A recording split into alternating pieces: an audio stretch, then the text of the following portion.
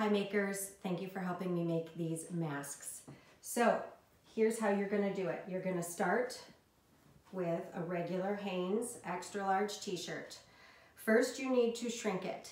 You can do that by two methods, one of two methods. You can boil it and line dry it, boil for 10 minutes and line dry, or you can wash in hot and dry on the hot setting on your dryer. Don't use any detergent. This is just to shrink the fibers as much as possible. When you're constructing this mask, you need to notice the grain of the fabric. The grain of the fabric goes vertical when you're wearing the garment. So this would be a vertical grain and this would be a horizontal grain. We'll get to that in, the, in a minute. The first thing you're gonna do is cut the collar and sleeves off your t-shirt so that it looks like this.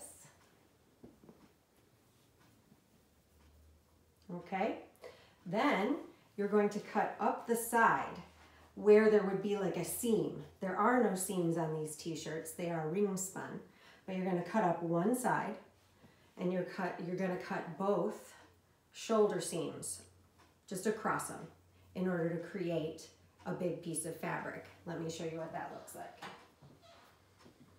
So that is gonna look like this.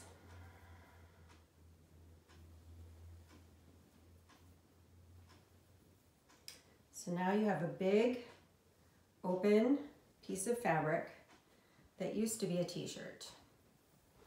Out of this t-shirt, you are going to cut one large rectangle and eight squares. The large rectangle is going to be 30 inches wide by 15 inches tall. It's important to cut it this way on the fabric because this is the stretchier plane of the fabric and when the mask goes on your face, you want it to be the stretchiest type of fabric going around the head, okay? So cut your cut it 30 inches wide here and 15 tall. Then out of the remainder of the fabric, cut eight squares that are seven inches by seven inches. So you'll end up with this. Here's your rectangle. And here are your squares. Then you're gonna, this is where the grain comes in. You're gonna lay down your eight squares, two of them with a vertical grain, and then the next two with a horizontal grain then two more vertical, then two more horizontal. So I've already laid them out like that. Let me grab two. You're gonna place them in the center of the bottom of the rectangle. Then here's two that have a horizontal grain. Then two with a vertical grain. Then the last two with a horizontal grain.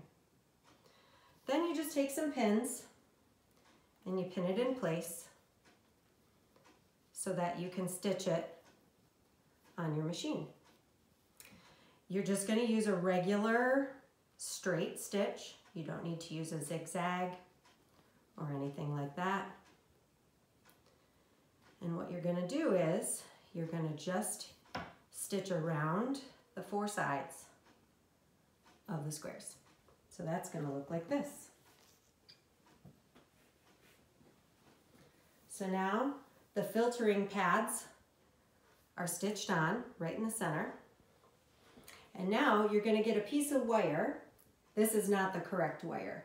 Ryan Beyer currently has the correct wire. It's made out of aluminum. It's thicker than this. It's gonna be three and a half inches long. It's gonna have little folded ends to make the ends nice and soft. You're gonna stick that right in the center of the top here. And you're gonna start rolling this top bit of fabric over and over and over again down until it meets the filtering pads. Okay? Then you can pin this in place on either side of the wire.